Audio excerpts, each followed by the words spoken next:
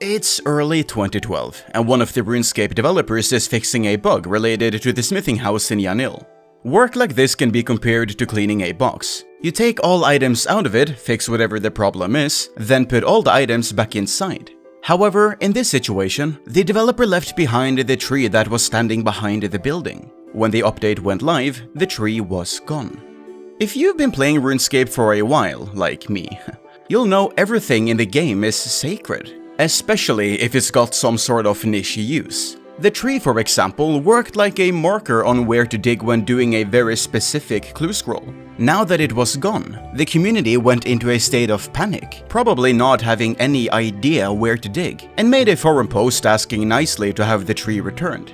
Meanwhile, in the Jagex offices, community manager Mod Emily got an inside joke going on with content developer Mod Timbo. Emily kept teasing Timbo with the recent updates and blamed every bug and mistake on him. She walks up to him in the office and tells him that he did it again, and this time he removed a tree. Without giving it a second thought, and despite not being the developer behind this kidnapping, Timbo goes full-heartedly into it and immediately claimed responsibility on the forums, apologizing for accidentally removing it and promised to add it back in. And thus began the meme of the famous Timbo tree. When the tree was replaced on the 20th of March 2012, it was added as a dead tree with the examine text Never let Mod Timbo near a thing of beauty. If you cut it down, the examine text would say Timbo. As a nice easter egg, the tree was left alone for now, and Jagex's developers had learned never to mess with a tree ever again. That is, until the 12th of October 2015, when also a tree in Varrock was removed. The tree was commonly used together with the Jack of Trades aura, meaning it didn't take long for the missing tree to get noticed. Aware of Timbo's reputation, fingers were pointed, and Timbo yet again took responsibility, shielding the anonymous JMod who had actually committed this crime.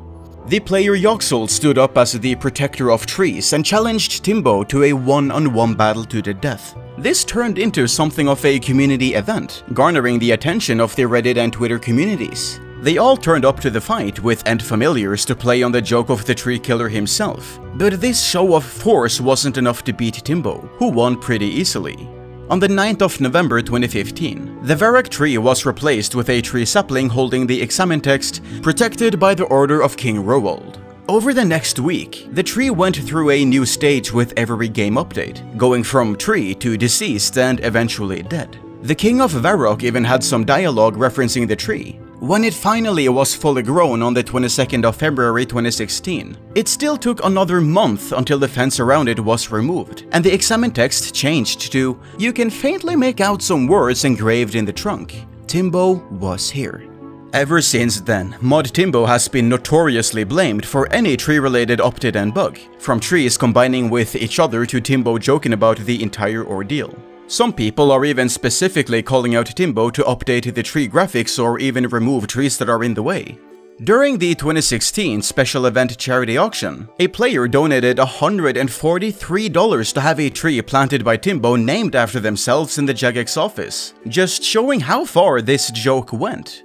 In 2021, a double tree was spotted in relation to the Easter event southeast of Varrock. This one was never removed, now that Jagex finally learned their lesson and decided not to touch the growing wildlife on Gielinor's surface.